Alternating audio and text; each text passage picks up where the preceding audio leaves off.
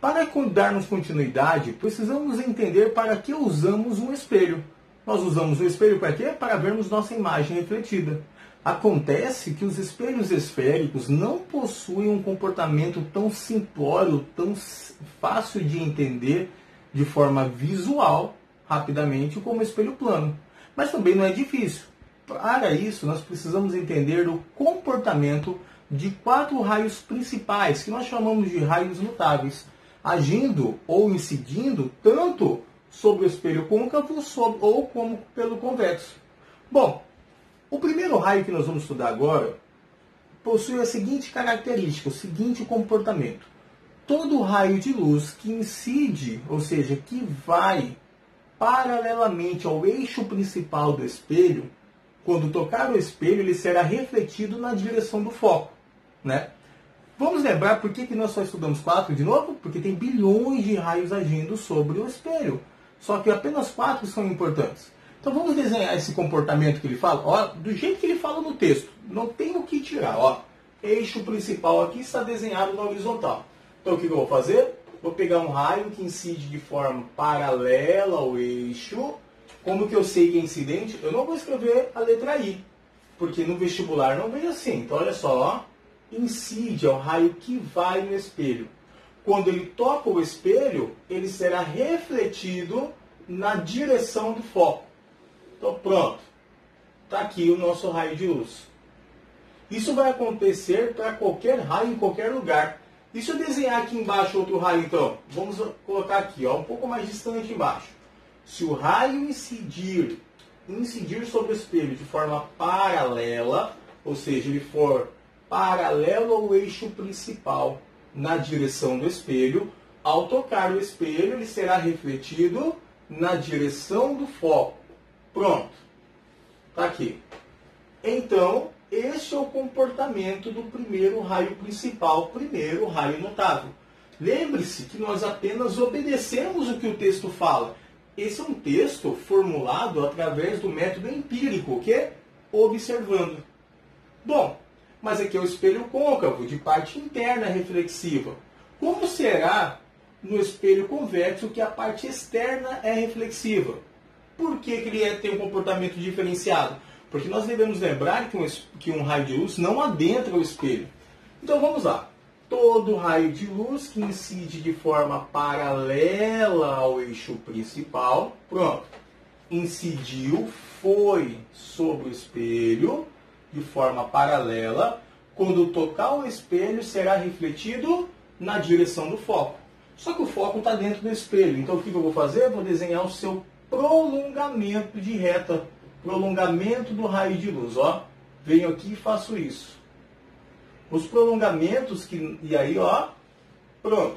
Então nós sabemos que tocou o espelho, quando foi refletido, foi refletido na direção do foco. Mas olha só, direção do foco, direção do foco, sentido para o foco, sentido oposto ao foco. Nós não precisamos lembrar do sentido, apenas da direção. E se eu desenhar um segundo raio aqui, vamos analisar? Se eu desenhar um outro raio aqui, todo raio que incide de forma paralela ao eixo, quando tocar o espelho, será refletido na direção do foco. Então venho aqui, faço o meu prolongamento e agora, ó, pronto. Então, gente, vamos lembrar, olha só. O espelho côncavo é um espelho que converge, que une. O espelho convexo é um espelho que diverge, separa. Então, aqui, quando nós observamos apenas o primeiro raio, nós conseguimos entender que todo raio que incide, todo raio de luz, ou seu prolongamento, que incide, que vai na direção do foco, é, perdão, que incide, que vai na direção paralela ao eixo principal, quando tocar no espelho, será refletido na direção do foco. Muito simples, muito tranquilo. É importante lembrar desse comportamento, porque senão lá na frente você vai ter que memorizar um monte de coisa.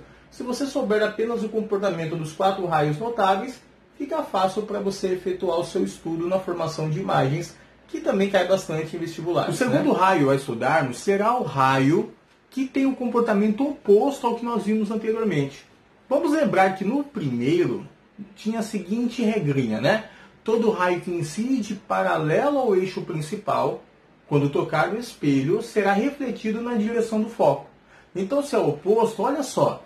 Todo raio que incide, que vai, tanto o raio como o seu prolongamento, na direção do foco, quando tocar o espelho, será refletido paralelo ao eixo principal. Vamos estudar isso? Vamos analisar? Olha só. Vou pegar o primeiro raio e vou desenhar aqui. Pronto. Levemente angulado, ó. Foi na direção do foco. Pronto. Quando tocou o espelho, ele será refletido paralelamente ao eixo principal. Então tem que obedecer isso, ó. Pronto. Tá aqui. E se nós pegarmos um raio com uma angulação mais acentuada? Pegar aqui todo o raio que incide paralelamente, perdão, na direção do foco, que vai na direção do foco, quando tocar o espelho, será refletido paralelo ao eixo principal. Então pronto. Então observe o seguinte, continua sendo um espelho divergente, perdão, convergente. Por que convergente? A tendência deles, por possuírem ângulos diferenciados, era separar. Mas quando tocaram a superfície do espelho, foram refletidos e se aproximaram até que sua trajetória seguisse de forma paralela. Isso aqui é usado dentro do farol de um carro, por exemplo. Imagine que isso aqui é aquela parte do fundo do farol, o carro está virado para lá, a lâmpada está aqui. Aí essa lâmpada, como ela diverge, quando ela toca o espelho, ela é refletida de forma focalizada, paralelo, um raio em relação ao outro. Ok? Bom, então vamos analisar aqui agora o comportamento desse mesmo raio quando estamos analisando um espelho convexo. Então, novamente, todo raio que incide, esse raio ou prolongamento, que vai na direção do foco, então vou pegar aqui, vou desenhar na direção do foco. Lembrando que esse espelho, o foco está dentro do espelho. Então o que eu vou fazer? Ó, vai na direção do foco, pronto. Quando tocar o espelho, será refletido paralelo ao eixo principal. Então venho aqui e faço esse desenho, ó. Pronto. Tá aqui. E agora, e se eu fizer então esse raio em uma angulação um pouco mais acentuada, um pouco maior, ó? todo raio que vai na direção do foco. Pronto, está aqui. E aí eu sei que aqui ele está indo na direção do foco. Quando tocar a superfície do espelho, será refletido de forma paralela. Olha só, paralelo. Pronto. Está aqui. Só seguimos a regrinha textual ali. Gente, continua sendo um espelho divergente? Sim, continua. Porque olha só, a tendência dos raios que estavam indo na direção do espelho eram se unir. Mas note que em vez de unir, quando tocaram a superfície do espelho, eles divergiram. Ah, mas eles continuaram de forma paralela. Beleza, mas paralelo não é mais união. Deixou de ser união. Aqui deixou de ser separação para andar mais próximo.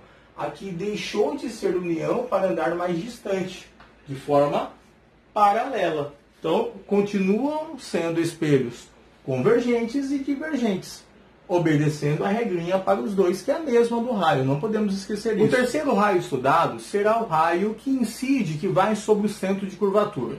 Vamos analisar o seguinte. Novamente, os nossos dois exemplos, um espelho côncavo e um espelho convexo. Bom, Todo raio que incide sobre o centro de curvatura, seja o raio ou seja o seu prolongamento, quando tocar o espelho será refletido sobre si mesmo. Ou seja, lembre-se que nos dois exemplos anteriores, quando eles tocam o espelho, eles mudam sua direção. O raio que vai, que passa sobre o centro de curvatura, ele não muda sua direção. Vamos olhar isso? Olha só. Vou desenhar aqui, passando por aqui, pronto. Todo raio que incide sobre o centro de curvatura, quando toca o espelho, é refletido sobre si mesmo, ou seja, incide e volta. Pessoal, por que, que isso é possível? Por que, que esse raio tem apenas esse comportamento? Lembre-se o que eu falei anteriormente. todos os raios de luz que incidem sobre um espelho, não importa o seu tipo de espelho, se ele é um espelho plano, se ele é um espelho esférico converge, é, côncavo ou convexo, ele tem que obedecer às duas leis da reflexão. Primeiro, vamos lembrar, o raio incidente, o raio refletido e a reta normal estão no mesmo plano, ou seja, não atravessam o espelho.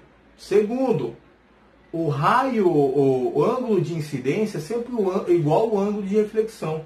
Então, olha só, se eu olhar aqui, eu tenho 90 graus e aqui também 90 se eu desenhar uma tangente. Então, ele continua obedecendo a segunda lei da reflexão, igual todos os raios que nós vimos anteriormente. Por isso, ele não altera a sua direção de propagação, tanto na ida como na volta. Então, muito cuidado com isso. A fundamentação desses é, desses raios, desses comportamentos, só são possíveis compreendermos porque eles obedecem, assim como no espelho plano, eles obedecem à primeira e à segunda lei da reflexão. Então vamos olhar aqui no espelho convexo? Olha só. Antes disso, perdão, vou desenhar um outro raio aqui, ó. Se eu desenhar ele sobre o eixo, ele volta sobre si mesmo. E se eu desenhar ele mais angulado ainda, ó, mesma coisa, gente. Vou desenhar aqui embaixo para não ficar muito em cima do outro, ó. Foi sobre o espelho, voltou sobre si mesmo. Então, ó, foi, refletiu, voltou. Foi, refletiu, voltou. Esse primeiro raio que eu desenhei, ângulo de incidência igual de reflexão, ou seja, os ângulos são iguais. A mesma coisa aqui, ó, o raio entre meus dois dedos. A mesma coisa aqui. Então ele continua obedecendo a segunda lei. A mesma coisa acontece ali. Lembrando que o seu raio de luz, ele não atravessa o espelho. Por isso que no espelho convexo eu desenho o raio incidente, mas aí dentro do espelho eu tenho que desenhar o que? O prolongamento. Então olha só, o raio incidiu, tocou o espelho, é refletido e retorna sobre si mesmo, ou seja, não altera a sua direção. Vamos observar que esse ângulo é igual a esse, por isso é muito importante, segundo a lei da reflexão. Tá, e se nós escolhermos um raio em outra direção, como por exemplo lá em cima? Se eu vier aqui e fizer isso, ó, mesma coisa. Lembrando, o raio veio, não entra no espelho. Então desenho o prolongamento. Então ele veio, incidiu sobre o espelho, tocou o espelho e voltou sobre a mesma trajetória. Bom, e se eu desenhasse um raio em cima do centro de curvatura? Olha só. Foi, tocou o espelho, um prolongamento e voltou, obedecendo novamente as leis da reflexão.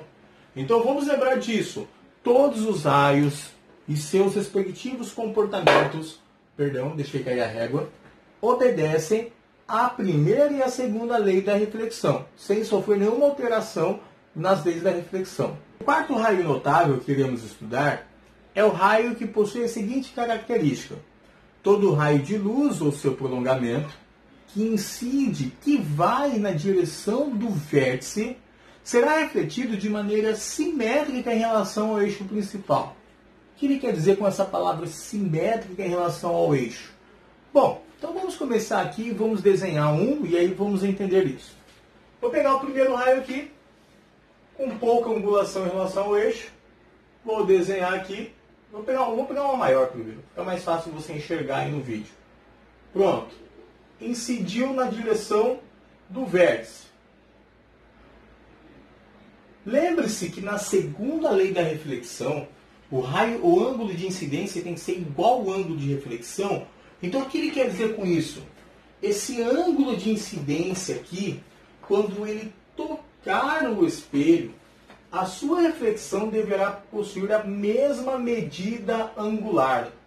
Ou seja, ó, tocou o espelho, será refletido de forma simétrica em relação ao eixo.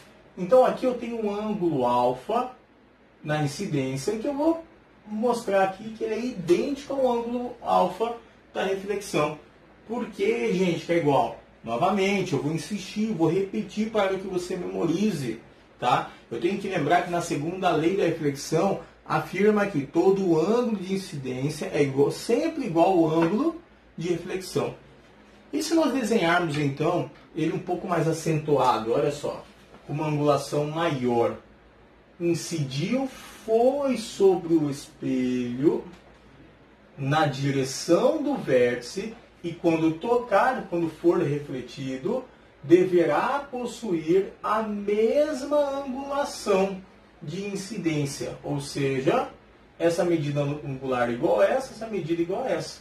Isso quer dizer que ele é de forma simétrica a sua incidência em relação à sua reflexão, analisando como parâmetro o nosso eixo principal.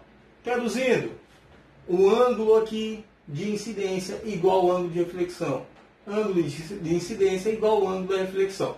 Ah, professor, mas eu não lembro de que é ângulo de incidência, que é o ângulo entre a normal e o raio incidente. Então eu vou analisar, analisar o seguinte: este ângulo tem que ser igual a esse. Acabou. Você viu isso lá em espelhos planos, inclusive fizemos exercícios da apostila quanto a isso, né? Vamos analisar o comportamento aqui no espelho é, convexo? Tem que ter, gente, o mesmo comportamento. Não muda, o raio analisado é o mesmo. Bom, então aqui é o seguinte.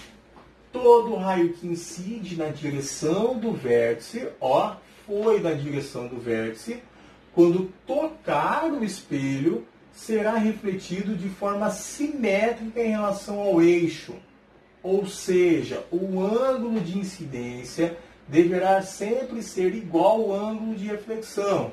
Este ângulo aqui tem que ser igual a este.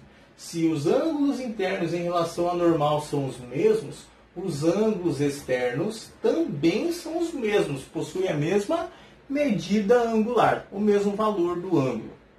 Bom, e se nós colocarmos um outro raio para observar? Olha só, todo raio que incide na direção do vértice sobre o espelho, quando tocar o vértice, será refletido com simetria, ou seja, o ângulo é o mesmo. Pronto. Simples assim, bem tranquilo, tá? Jovens, na próxima aula nós veremos a formação de imagens. E aí, eu temos, temos algumas. É, assim, alguns itens a memorizar, mas eu não acho muito importante memorizar as combinações. É importante entender o comportamento dos raios para que quando você vá construir uma imagem, você fazer ela de forma mais qualitativa, né, com mais qualidade, mais eficiência. Então eu peço para você, esses quatro raios estudados hoje e os elementos geométricos dos espelhos esféricos, eu quero que você, você um pouquinho da frente para você tirar print enquanto eu falo, tá? É, eu vou pedir que você memorize ele, apenas isso. O resto será mais fácil. Você não vai precisar memorizar mais nada, só desenhar na hora de forma rápida e efetiva.